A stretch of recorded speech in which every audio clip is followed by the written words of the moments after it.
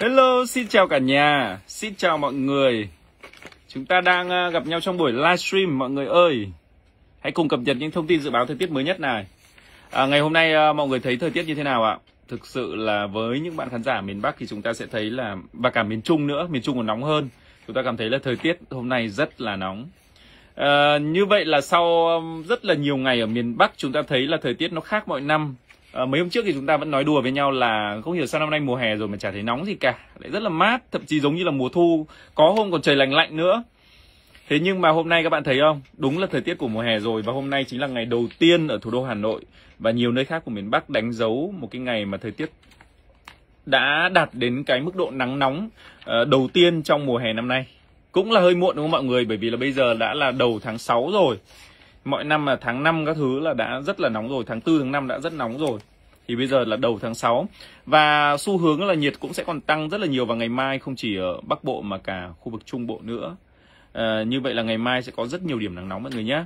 Ờ, và thậm chí là 37 38 độ cũng có ở miền Trung. Miền Bắc thì ờ, 37 độ cũng sẽ xuất hiện ở thủ đô Hà Nội và Hòa Bình mọi người ạ. Xin chào tất cả mọi người nhé, Bùi Anh Thư xin chào. Thời tiết hôm nay đẹp trai quá, cảm ơn bạn nhé. Tôi đang hiểu là bạn đang uh, bạn đang ám chỉ, đang đang đang về với tôi đúng không? Đang khen tôi đúng không? Cảm ơn bạn rất là nhiều. Biết là thế rồi nhưng mà vẫn thấy vẫn thấy thích đúng không? Được khen thì vẫn thấy thích. Phạm Hữu Tú, Hải Dương tôi có mưa không anh? Hải Dương à? Để anh xem nhá. Đến Hải Dương thời tiết như thế nào ha?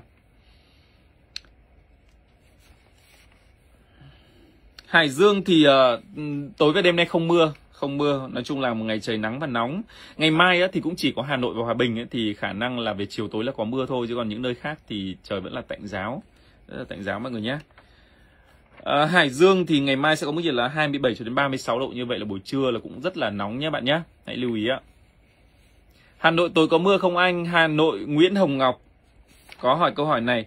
Hà Nội đêm không mưa, ngày mai thì nắng nóng chiều tối, chiều tối mai mới có thể có mưa rông bạn nhé.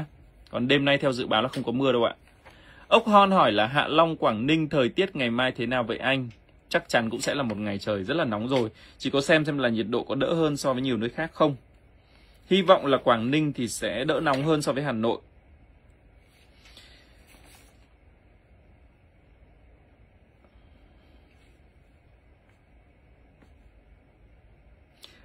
Quảng Ninh ngày mai Quảng Ninh ngày mai thời tiết lại rất là ok mọi người ạ. Thời thời tiết ngày mai uh, nhiệt độ không quá cao, cao nhất ở Quảng Ninh chỉ khoảng là 32 33 độ thôi. Như vậy là đỡ hơn rất là nhiều bạn nhé. Mặc dù đây không phải là mức nhiệt dễ chịu nhưng mà so với nhiều nơi khác trong đó thủ đô Hà Nội thì đây cũng là mức nhiệt rất là ok. Trời tạnh giáo, nắng nhiều, hơi nóng một chút. Sài Gòn mưa chừng nào giảm anh ơi, đúng rồi bạn Phan Thành Long ơi, những ngày này thì Sài Gòn ờ, và Nam Bộ như là Tây Nguyên mưa rất là nhiều. Bản thân anh Tùng cách đây mấy hôm, hai ba hôm trước thì cũng ở Sài Gòn và về chiều thì thường hay có những cơn mưa rất là to đúng không mọi người? Và đúng là cái đợt này gió mùa tây nam nó hoạt động mạnh thế nên là khu vực nam bộ trong đó có thành phố hồ chí minh thì mưa rất là nhiều. Theo dự báo là ngày mai mưa vẫn còn tiếp diễn ở khu vực này chưa giảm được đâu bạn nhé. Về chiều là sẽ có mưa theo dự báo là như vậy. À, tuy nhiên là nhiệt độ tại thành phố hồ chí minh và nhiều nơi khác của nam bộ ngày mai lại không quá cao chỉ khoảng 32 đến 33 độ là cao nhất thôi mọi người ạ. Không quá nóng.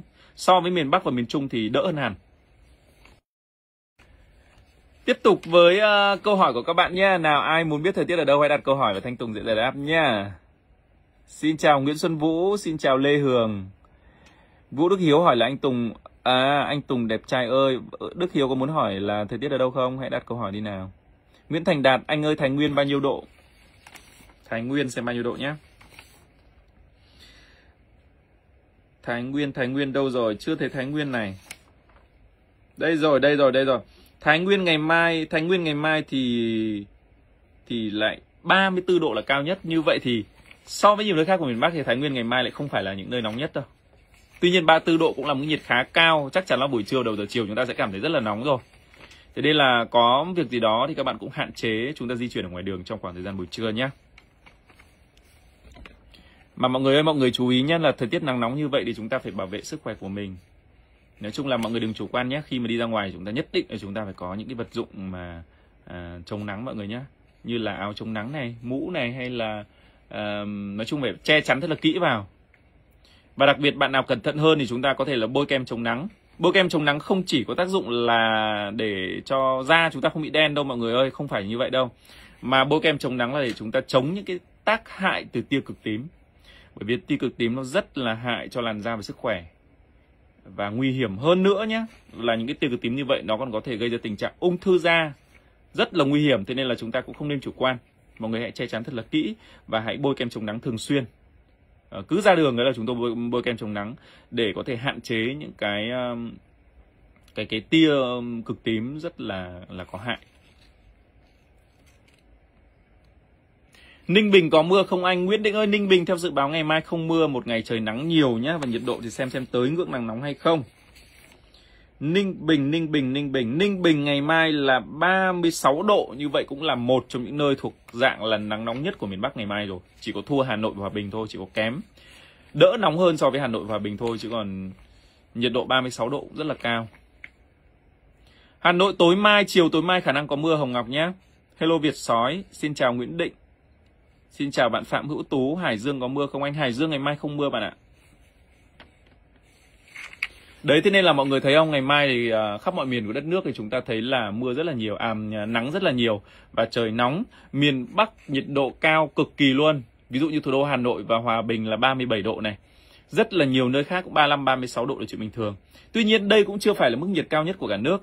Ngày mai những cái nơi nóng nhất thì phải kể đến khu vực miền Trung khắp một dọc từ Thanh Hóa trở vào đến Phú Yên nhiệt độ rất cao. 35, 36, 37 độ. Và thậm chí là vùng núi của những cái tỉnh thành của khu vực miền Trung là còn lên tới 38 độ. Ví dụ như vùng núi của Nghệ An đó thì uh, thì thì có thể là lên tới 38 độ. Vùng núi của Nghệ An, Thanh Hóa đó rất là nóng. Uh, và không có mưa, không có mưa thời tiết là nắng nhiều và rất là nóng và hôm nay ngày mai thì cũng đánh dấu là ngày thứ bảy nắng nóng liên tiếp tại khu vực miền Trung rồi mọi người ạ. Nên là chúng ta lại bắt đầu phải đối mặt với những cái ngày thời tiết uh, giống như mọi năm thôi đó là rất là nóng.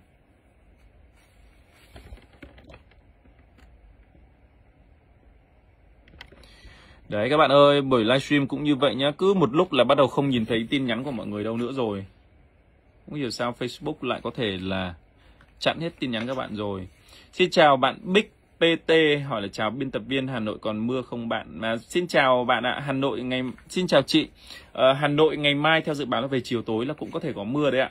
Và các bạn tưởng tượng là mưa sau một ngày à, nắng nóng như vậy thì các cái hiện tượng ờ, thời tiết cực đoan như là gió giật sấm sét này thì rất là có thể xảy ra nên là chúng ta cũng cần phải cảnh giác mọi người nhé à, nếu mà vào thời điểm chiều tối nhất là vào thời điểm giờ tan tầm khi mà chúng ta di chuyển có thể là đi làm về này hoặc đi đâu đó về mà chúng ta thấy mưa rông mạnh á, thì các bạn đừng cố gắng di chuyển ở ngoài đường nhé chúng ta hãy tạm thời uh, di chuyển đến một cái nơi nào đó nó an toàn hơn chờ ngớt mưa ổn ổn thì chúng ta đi tiếp. Mà nói chung là nếu như không có việc gì cần thiết tốt nhất là mọi người đừng di chuyển ra ngoài đường trong khoảng thời gian như vậy. Vừa mưa gió đúng không? Mà lại vừa nguy hiểm. Ngày mai miền Trung cũng là một ngày nắng nóng, ngày thứ bảy nắng nóng trong ờ, đợt này và nhiệt độ rất là cao 35 đến 37 thậm chí 38 độ. Khu vực Tây Nguyên và Nam Bộ thì ngày mai thời tiết lại đỡ nóng hơn so với miền Bắc và miền Trung. Mức nhiệt cao nhất ở khu vực này chỉ khoảng là 33 độ miền ờ, ở miền Nam và 30 độ đối với khu vực Tây Nguyên. Như vậy là nhiệt độ thì lại không không đáng lo ngại. Tuy nhiên là về chiều tối thì cả Tây Nguyên và Nam Bộ vẫn sẽ có mưa rông mọi người ạ và vẫn phải đề phòng tới hiện tượng ngập úng cục bộ có thể xảy ra tại những cái uh, thành phố khu uh, những cái cái thành phố ví dụ như là thành phố Hồ Chí Minh này hay là Cần Thơ đó thì một số nơi ờ, những cái đường trũng thấp thì rất có thể là sẽ bị ngập Bây giờ mình sẽ chia sẻ nhiệt độ một số nơi cho các bạn ngày mai nhé. Sapa là một trong những nơi mà rất là mát mẻ. Bình thường chúng ta thấy mát mẻ như vậy mà ngày mai nhiệt độ cao nhất lên tới 24 độ đấy nhá, không ít đâu, 24 độ. Rồi, với miền Bắc thì như mình đã chia sẻ Hòa Bình 37 độ này, Mai Châu 37 độ này, thủ đô Hà Nội 37 độ là cao nhất này. Hà Giang cũng 35 độ này cũng không kém này. Tuyên Quang 35 độ, đấy rất nhiều nơi mọi người nhá. Còn với khu vực miền Trung này cũng nóng lắm, Quảng Ngãi này 36 độ này. Đó. Rất là nóng luôn.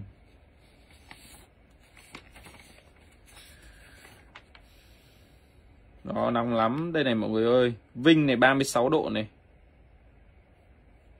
Nóng lắm. 35 độ Huế, Đà Nẵng 35 độ, rất là nhiều nơi 35, 36 độ, 37 độ. Vùng núi của Nghệ An, Hà Tĩnh các thứ là có thể lên tới 38 độ vào ngày mai. À, khu vực Tây Nguyên thì cao nhất là 30 độ, còn khu vực Nam Bộ thì dao động khoảng 31, 32, 33 độ. Thành phố Hồ Chí Minh khoảng 33 độ. Hơi hơi nóng vào buổi trưa và đầu giờ chiều. Tất nhiên là thời tiết ở trong ờ, phía Nam thì so với miền Bắc nó cũng đỡ có cái gì đó nó cũng đỡ kiểu như là đỡ khắc nghiệt hơn ấy.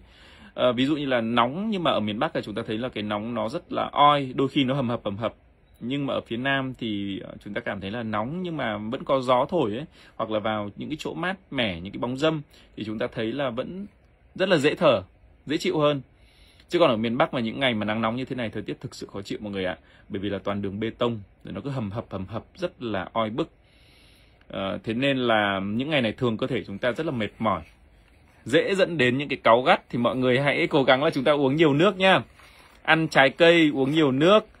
Hãy ờ, cố gắng giữ một cái tinh thần thật là bình tĩnh thật là làm sao nhỉ?